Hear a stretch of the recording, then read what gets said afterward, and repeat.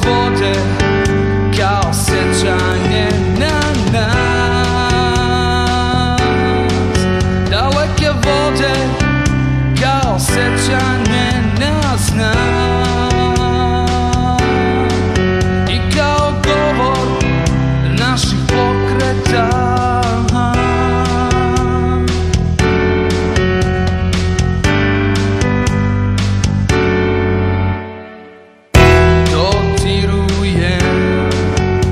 sve što mislim